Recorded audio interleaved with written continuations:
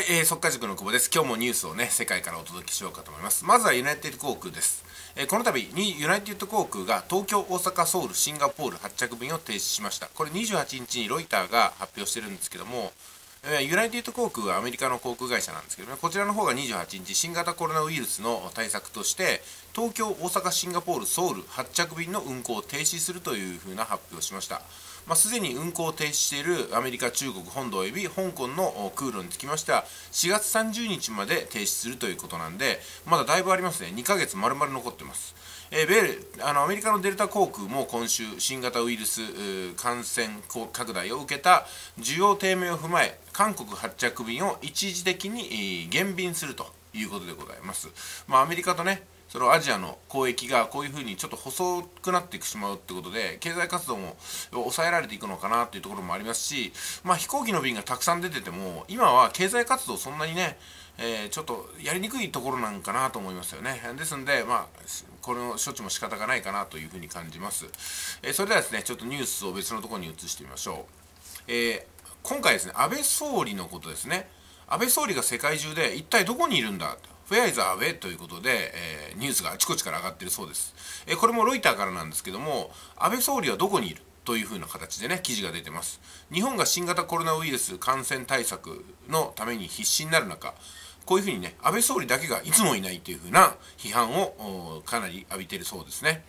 歴代最長の在任期間になった安倍総理が新型ウイルス対策の代表として陣頭指揮を取っておらずその任務を部下の加藤厚生労働大臣にほぼ丸投げしているという批判が多くなっております。まあ、安倍総理のリーダーシップをめぐる懸念というのは、すでにかなり長い間続いているんですけども、それがね、支持率の低下につながっています。新聞報道によると、不支持率は支持率を上回ったということで、これ2018年7月以来、支持する人の方がちょっと少なくなって、支持しないよっていう人が増えたってことですよね。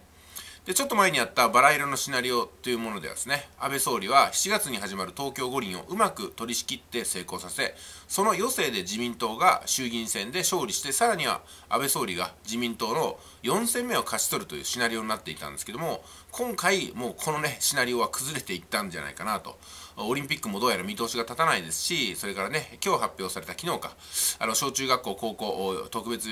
学校こちらの休校要請についても、まあ、指示が曖昧だということでですねもう閣僚の間でも懸念が広がっているということでございます。でリーダーシップはどこに行ったと疑問を投げるのは日本の政治家であるジェラルド・カーティス米コロンビア大学名誉教授ということでございます。この後に及んでもまともに顔を出さず国民には語りかけず人々を動員しようとしていない。この状態が長引けば長くほど彼の信頼は傷つくだろうということで。まあね例の黒川検事総長の件とかね森法務大臣の件とかでもう信用はガタ落ちではあります、まあ、日本国民の中でも信用している人はあまりいないのかなと思いますけども、まあ、あまりねその安倍総理の代わりになる人が見つからないっていうのも本当のとこなのかなと思いますよね。ただ一人、えー、こういうふうなねいい例を言ってました。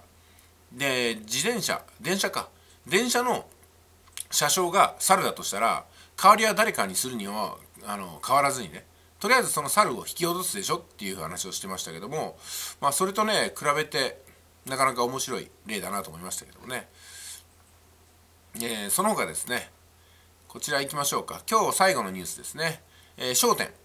新型肺炎で米株一気に、えー、調整局面。市場の動揺収束見えずということですごい勢いで、まあ、株価っていうのは落ちてるわけなんですよ。ただウォーレン・バフェットさんが言ってるのはこれも株価を手放す大きな要因にはならないと。5年後10年後には結局回復してるだろうと。長期的な見通しは変わらないよと言ってますんでね。ウォーレン・バフェットさん世界一の投資家さんで世界の4番目のお金持ちですね。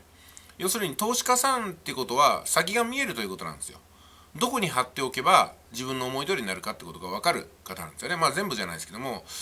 その可能性が高いということなんですよね。まあそういうことを考えると、ウォーレン・バフェットさんの考えっていうのは、まあ無視できないところが多いなと思うんですよね。そのウォーレン・バフェットさんが言ってるのは、まあ保有してる株式を売る必要はないと。ただし、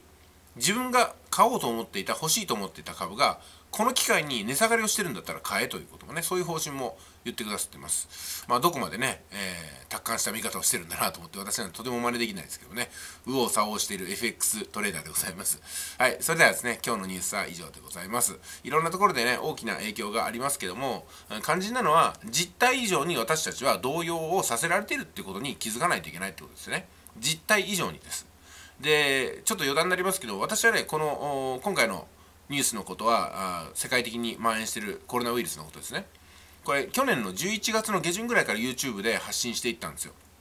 でなんで YouTube で発信したかっていうと YouTube ですでにそういう動画が上がっていたからなんですね。こういう小さな種の時多くの人に無視されるような本当に小さな種の時にこれはものすごく大きな事件になるんではないかなと思ったのが私が実態よりもまだね世の中がその実態よりも過小評価してる時だったんですよ。で今はあの実態よりも過大評価してるんでちょっと加熱しすぎてるんではないですかと、うん、学校を休んだりとか事業活動を停止したりとか経済活動をやめるほどではないんではないかなと思うんですよ、まあ、はっきり言ってね経済活動をやめてしまうとこれはねウイルスでも何でもない